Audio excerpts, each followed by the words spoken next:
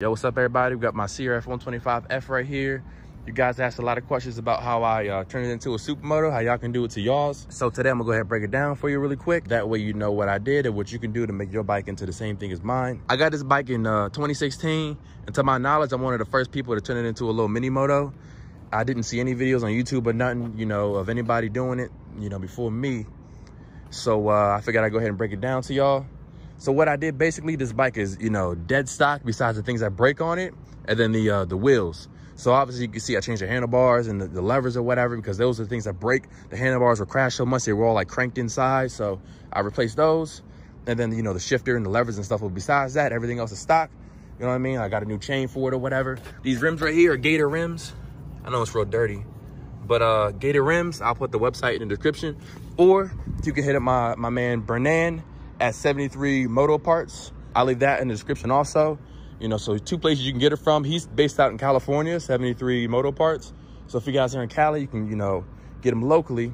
But basically what I did was I wanted to have these set of wheels to ride supermoto or mini moto and my uh, motocross wheels to ride in the dirt, you know, when I wanted to, even though it ain't that beast of a motocross bike, you know, just because, just so I have both sets. So what I did was I bought a set of brand new hubs for the front and rear and I sent them to the dude at Gator Rims and I had him lace them up to these 12 inch Minimoto rims.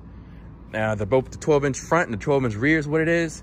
I got some Mitas tires on here. The only two things I would warn you guys about, you know, when getting these rims, the only issue I have with these rims or have had with these rims is that anytime you want to take this front wheel off, you got to take the uh, the rotor off with it. So you got to take the rotor off first and then, you know, loosen this all the way up and take the uh, this joint all the way out and then take the wheel off. Otherwise, if you try to just take this uh, bolt off right here and slide it all the way out, this this joint right here gets stuck in the rim. You see how it's like right there? It won't let you take it out because this rotor has no room to slide out, you know, past the, uh, you know, this right here.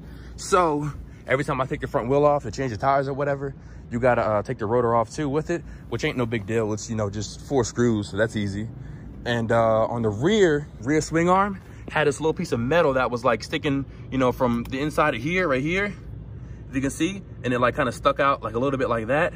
And it would let me slide this uh, wide 12 inch wheel inside of there. So what I did was uh, got a Dremel and I just eh, grinded it all the way down, took that little metal piece out, and then, you know, the wheel went back and forth in there easy.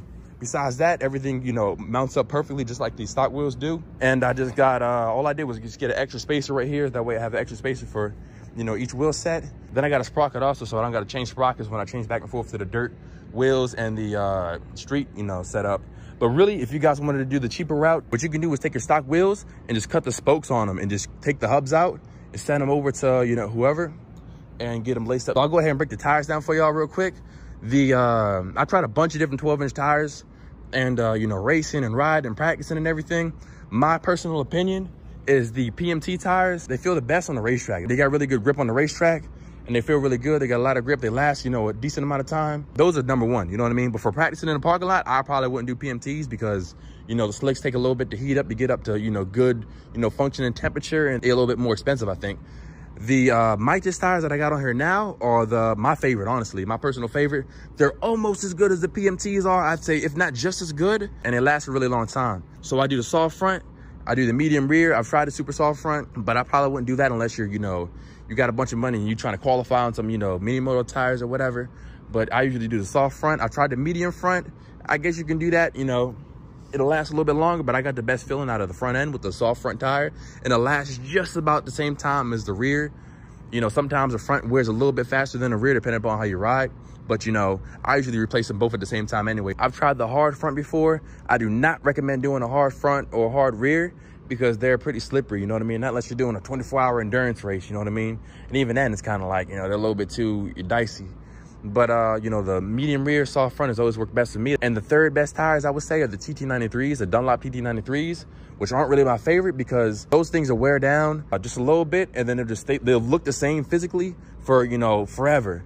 And then you just keep riding, riding, riding. They'll just get slippery and slippery and slippery, but they'll look good. They'll have the tread and everything. They'll look good but they'll just be really slippery, you know what I mean? And they don't last as long as these Mitas tires do. So I wouldn't recommend getting those unless you got to, or if that's your only option. But uh, these things, these Mitas tires, they'll grind all the way down till you see the thread sticking out of the tire. Even then, it'll still feel really grippy. You know, you'll just look one day and be like, wow, look at the threads on the tires. But even then, you know, it still got really good grip. You know what I mean? So uh, I really recommend these tires. But besides that, like I said, everything else is stock. The uh, foot pegs I recommend getting them cut a little bit. That's what I did with mine. I went to my homie Jason and I had him uh, cut and weld these foot pegs back smaller.